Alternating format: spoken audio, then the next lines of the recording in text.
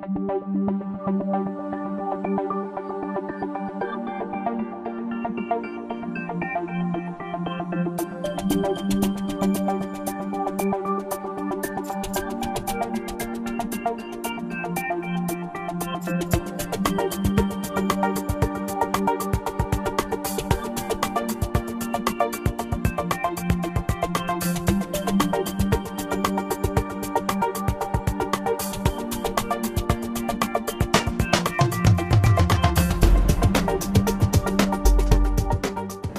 Welcome to This Week with Sheriff Dave Phalen, a weekly program here on LSN Television. Do appreciate you, the viewers and listeners, and also our radio affiliates that carry us throughout Fairfield County and beyond, where we join special guests each and every week from the Fairfield County Sheriff's Office and community leaders.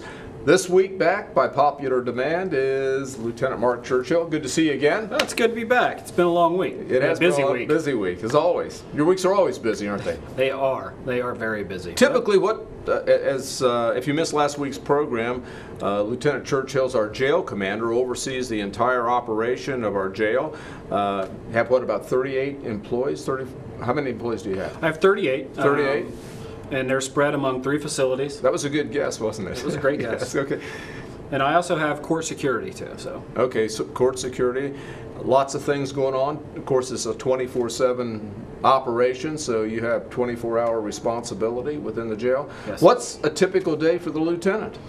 Well, my days normally start out with trying to meet the sergeant that's on third shift. So he's getting off at around 8 o'clock. So I like to spend a little time with him, talk to my day shift sergeant, see what his day's planned, how busy the court schedule is going to be for him. Yeah. To see if there's a need for additional staffing. Uh, if, if that case, we'll call in additional staffing to help with transports to prisons or transports, escorts to courts or medical appointments. Right. So there's a wide variety of transports. We do a tremendous amount of transports every day. Uh, then generally it's, it's check the mailbox to see what work is pending for me. And Right. uh, the one thing I enjoy doing every morning is it's called a daily events log. Is I get to review all the paperwork that my staff give me throughout the course of the day, or actually previous day, and I'd like to summarize it down. And I send that out to my supervisors. I send a copy to you, and it includes what our current head count is. So it keeps everybody up to speed on what's going on within the jail. And the breakdown typically is, uh, h- how many uh, male prisoners do you have? How many female prisoners do you typically have? Well, count. Generally, we have around 65 females Okay, in custody, and then the remaining are males. And right now, we're averaging around 270, 275. and, uh, and what are some of the, like, social programs or some of the different things that the prisoners get while they're in our jail? Well, we have a jail ministry. They come in periodically throughout the week. A lot and of meet- different jail, uh, people in the jail ministry, isn't there? A lot Oh. of different churches, uh, denominations, a lot of different things. And, and, and we like to diversify. Uh, and it gives the inmate an opportunity to, to see what maybe they'll, they'll connect with. And we want them to connect with it. And we also have social services, which is like the reentry program. We have a teacher that comes in, does GED classes for the inmates. So if they want to take tests while they're in jail, so when they get released, they can take their GED and pass and hopefully move on to be productive parts of society. And you mentioned the reentry program. Tell us a little bit about that. Uh, the reentry program gives the inmates information about where to go for jobs, um, resume writing, uh, where to look for if they need health care upon release or if they Right. need temporary assistance such as food stamps or, or whatnot. It kind of gets them where they need to go to get those resources. One of the things that I've heard is when a prisoner gets out of jail, uh, many times they lack two things. They lack uh, a home and they lack employment. So those are those are uh, tough tough obstacles. It is, and sometimes it's what brings them back. Right. So they're, they're either committing theft offenses to to sustain a habit, or they could be committing um, trespassing charges, like for a place to sleep if it's cold or inclement weather. So. Okay. And there's certainly a high percentage of your population that suffer from drug addiction or alcoholism. And we do offer Alcoholics Anonymous classes Okay. and um, Narcotics Anonymous classes. Okay. Uh, those agencies do come in, volunteer their free time, and they'll meet with any inmate that wants to come out and participate in a group setting. And generally, we have a really good turnout. So they're, they're, all the programs that we have are very beneficial. Now, do most of the prisoners behave themselves? Yes, uh, you, it's it's like um, anything else. It's one or two people. Right. Are the ones that generally stir up a lot of the problems we have within our jail. But the majority of our, our inmates, uh, they comply.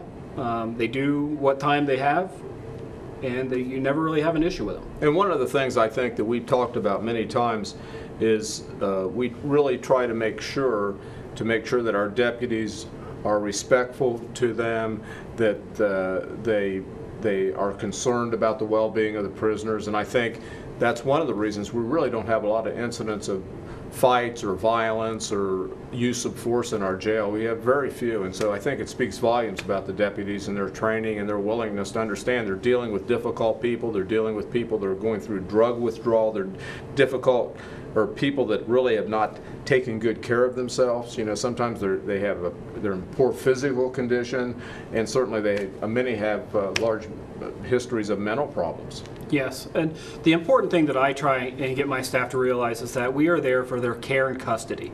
We're not there to judge them on what offense brought them into the facility. Our responsibility is the care and custody while they are in our cust- in our in our facility. The court will judge whether they're either guilty of the offense that brought them there, and if so, what their punishment will be. That's not our job. Okay. Our job is to make sure that while they're in our facility, is that they're receiving their meals, they have health care, uh, and if they have educational, such as uh, GED, when they have social services or ministries. So, Right, right. So lots of good things going on in the Fairfield County Jail. Last week, I mentioned that uh, one of the areas of responsibility that you've taken on over the years has been involved in our firearms. Right. I am a firearms instructor with the office. So Okay. one of my primary responsibilities with that, along with several other members we have, is yearly we hold two qualification times where we'll every officer within our department has to show a proficiency on on how they shoot their service weapon. And that's one of the things that we can help somebody with if they're having issues. But nine times out of ten, they don't. Okay. Uh, we have a lot of good people in our department that, that shoot very well. And tell us a little bit about some of the proficiency tests that they have to go through. A lot of the proficiencies have changed. This is the first year that we've had to go with the new OPOTA standards, and a lot of them are timed.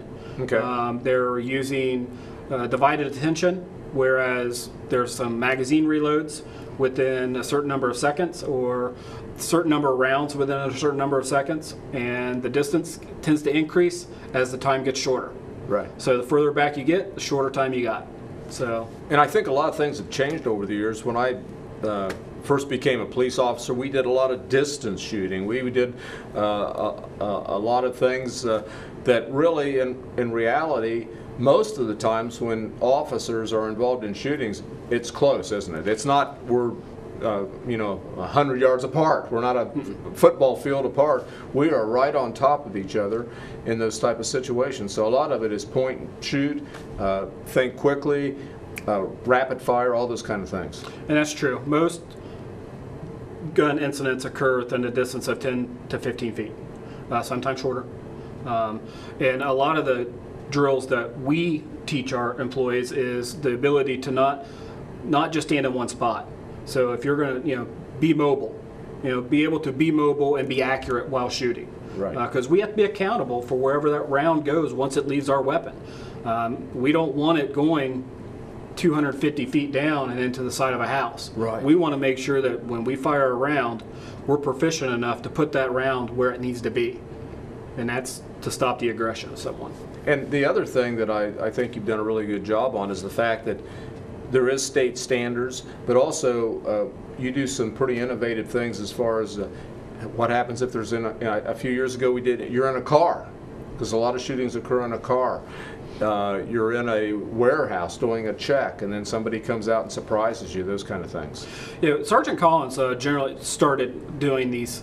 We, we call them a, a yearly challenge, range challenge. Okay. And we'll, for instance, like some this year's range challenge was um, the officer had to shoot six rounds from a fully automatic weapon into a preferred area of the target at a distance of 75 feet. Okay. So if you're not very proficient with this type of weapon, it's a little intimidating.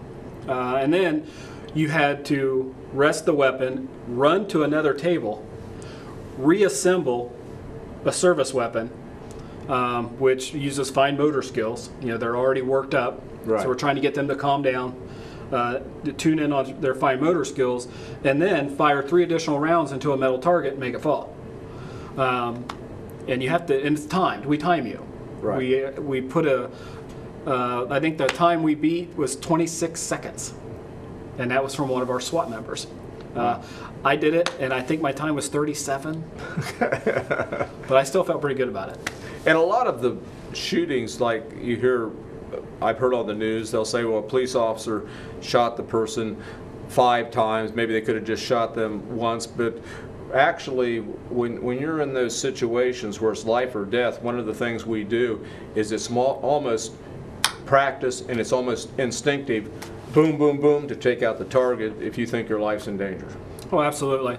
Uh, a lot of things we do is three round bursts, um, and there's a reason for that. Uh, a lot of people might not believe it, but they wear body armor. A person that might be committing a crime offense could be wearing body armor.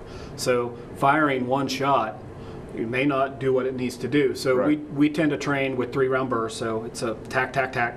Um, and we're, we're not shooting to, to cause this person to die. You know, our intent is to stop their aggression. To immobilize them. That's it. And if it takes three rounds, if it takes four rounds, that's what it took. So lots of good stuff uh, going on as far as the training, and uh, we don't have a lot of time. But you were also the uh, before you became the jail administrator, you were in charge of our communication center. And that was a great experience. Um, again, I worked with a, a great group of dispatchers, uh, civilian employees. They really uh, enjoyed their job. Uh, they had a desire to really want to help people. And that was what made them such great people to work with. And I've often said that to be a dispatcher, in my opinion, is probably the toughest job you can do in law enforcement. Oh, you're absolutely. multitasking, you're you're talking to people, you're the first communicator, and with the with the mobile phones now, a lot of times they are. It's not the old days when you see an accident, uh, you pull off to the gas station, you put a, a quarter in the phone, you call us. Many times these people are right on the scenes. So, Oh, yeah. so the dispatchers are talking them through all kinds of uh, traumatic situations. Oh, absolutely. With the telephone technology nowadays, um, we can zero down in on a cellular caller within, I think it's about 100 feet, Right. that we're going to be able to tell where that person's calling from. And in actuality, a lot of the calls that I've seen come in from cellular devices, I think it's much closer. I think it's 20, 25 feet. Amazing But- technology. Lieutenant, we're about out of time. Do appreciate you joining Thank us. you. Lieutenant Mark Churchill, our jail commander, has been with us for the last two weeks. We'll have you back here uh, in a few months to kind of update us as we get uh, in the process of building a new jail. So we look forward to that. I'd like that. Thank you. Well, I do appreciate you, the viewers and listeners that join us each and every week, and I would be remiss if I didn't thank the students here at Fairfield Christian Academy that put this program together each and every week, and JT Burcham and the gang, they do a terrific job. And certainly I appreciate the nice comments uh, that I get. I was recently at the uh, Fairfield County Fair a number of days and had a lot of nice comments about this program in particular. The clock on the wall says we've got to go until next week, same time, same place. God bless, and we'll see you right here next week.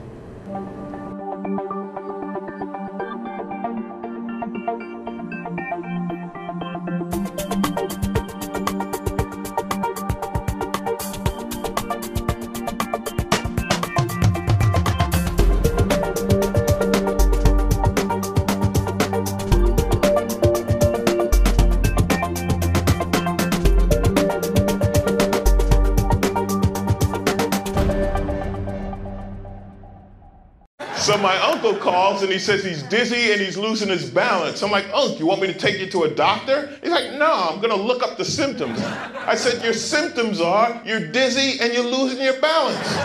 So he said, I can't get on the internet because my arm is numb. I said, Well, use your good arm and dial 911. Stroke's no joke. If you or someone you love is showing symptoms of stroke, don't wait because it might be too late. Dial 911. Time lost is brain lost.